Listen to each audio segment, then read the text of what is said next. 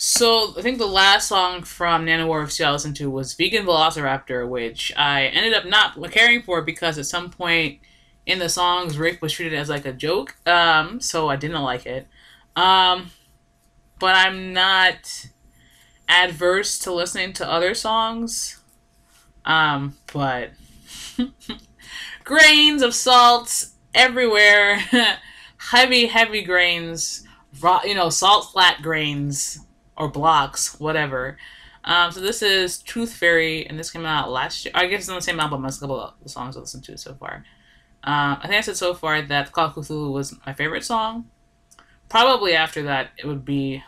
I'll say I don't know. Uh, is after that maybe might be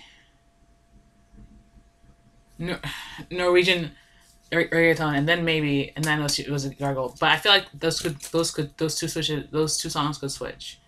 Um, but this is Tooth Fairy featuring Mario Draghi. Um, so I think I was trying to figure out who this was, and I was saying something about how they awarded him some honorary title. I think that's it, this guy. There's another message that I want to tell you today. Is that Who is this? Monday, Wait, is that a politician instead? Am I am I thinking of the wrong person? Or is this someone pretending to be a politician? the ECB is ready to This seems like a politician. Let me see. Did they just did they just randomly include this man, uh, and then have him featuring? That'd be wild.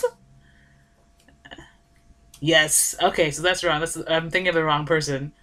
Wow. Does he know? Was this something he agreed to, or just okay? do whatever it takes to preserve the euro. And believe me, it will be enough. Don't even know what's happening. oh gosh. Why is there? Oh, Tooth Fairy. But why is he Vegeta? Is he? Is that no? Is that Vegeta? What?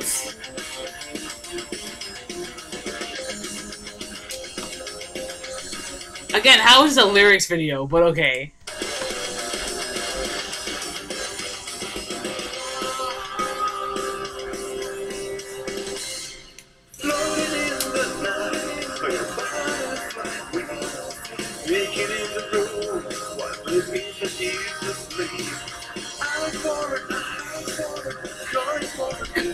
Deed? What?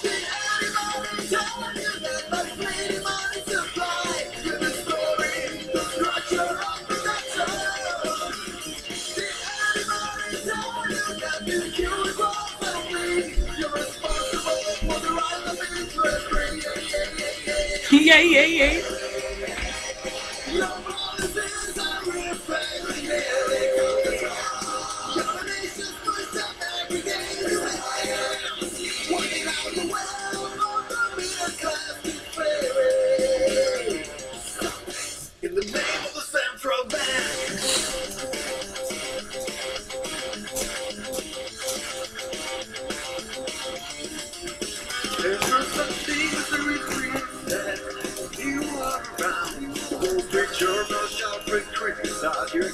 Expansionary policy. The German in vain that you're breaking your mandate. You very you are fucking anti-constitutional. Anti-constitutional.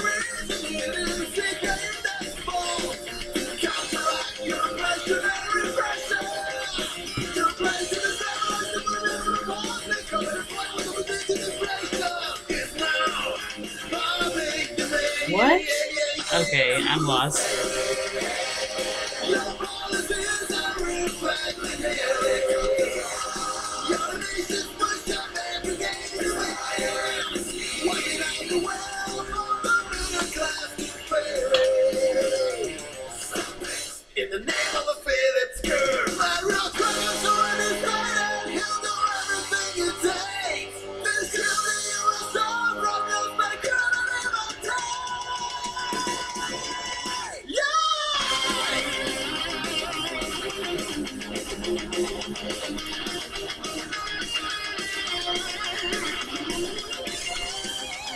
Oh gosh! Annoying.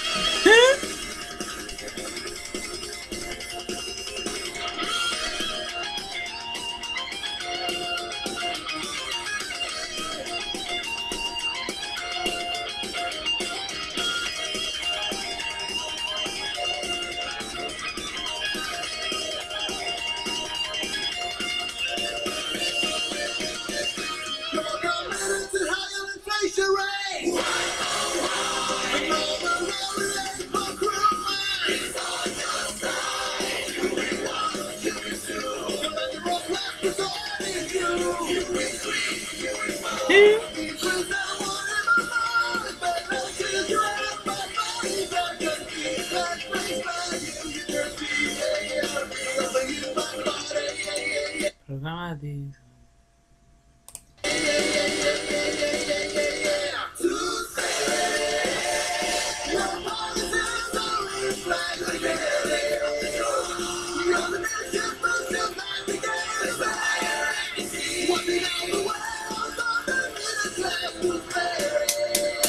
Latina. oh my gosh. Honestly, I didn't. I did. I honestly thought this was just going to be about the Tooth Fairy in some way or form.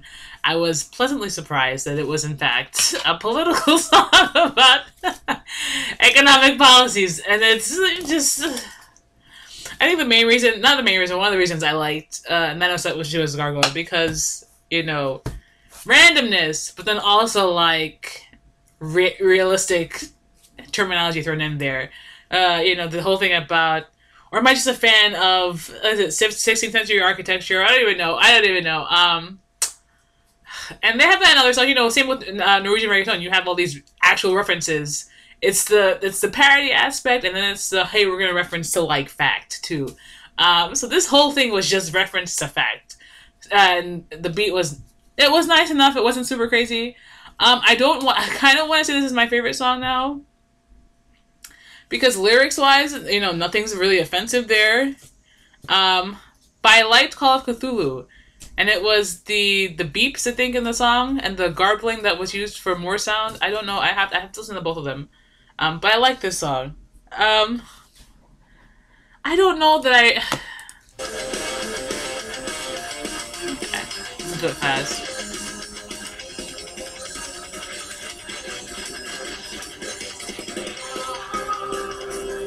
Presumably they.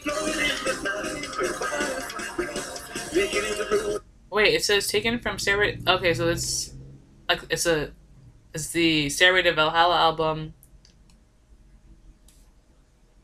Okay, is that the name of this album? The name of this album, I guess. Okay, that's the name of the album, I guess. Okay. Stop it! In the name of whatever.